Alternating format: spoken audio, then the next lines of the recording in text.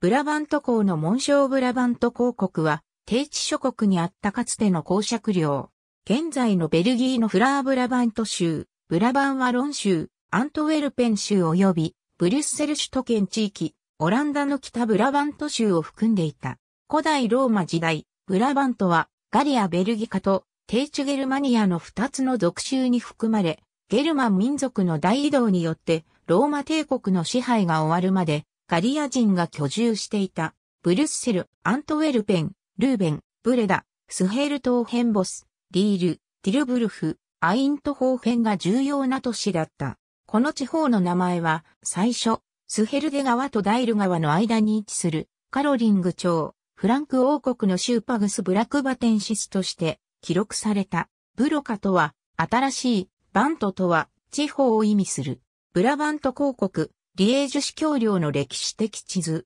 1477年ブラバント伯爵領はロタリンギア公国内の封建的領地として成立し、959年のロタリンギアの分割後は下ロタリンギア内に含まれた。このようにして、この地は中部フランク王国と神聖ローマ帝国を構成する一部となった。1085年から1086年頃、より正確には仙台ブラバント辺境博ロタリンギア・パラティン博エルマン2世の死後、この領土は、ルーベン博アンリ3世に割り当てられた。ブラバント公国が公式に成立したのは1183年から1184年である。ブラバント公の世襲称号は、神聖ローマ皇帝フリードリヒ一世が、ブラバント公、アンリ一世のために創設した。ブラバント公国として相当する国は、全く小さく、ドンドル川とゼンヌ川の間の領土に限定されたけれども、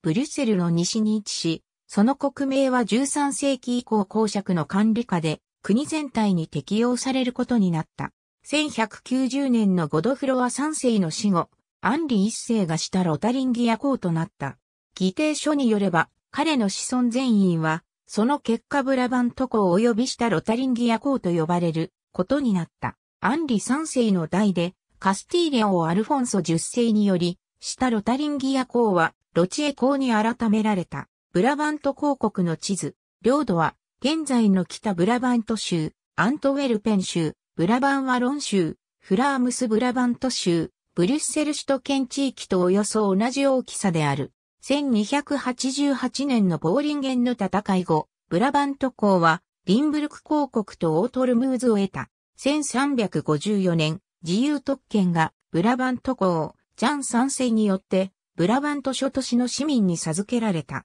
1430年、ロタリンギア、ブラバント、リンブルクの各公爵領はブルゴーニュ公フィリップ3世に継承された。1477年、これらの称号はブルゴーニュ女皇、マリード・ブルゴーニュがハプスブルク家のマクシミリアンと結婚したことから、その長男、フィリップ美公以降ハプスブルク家の世襲となった。ブラバントのその後の歴史は、低地諸国、またはネーデルラント17州の歴史の一部となる。80年戦争で北部州はオランダ軍管理下に入った。1648年のベストファーレン条約後、ネーデルラント連邦共和国独立が批准され、北ブラバントは公式に連邦政府が治める領土として譲渡された。南部は南ネーデルラントとして、スペインハプスブルク家支配下に残った。同家の断絶後、スペイン継承戦争を経て1714年に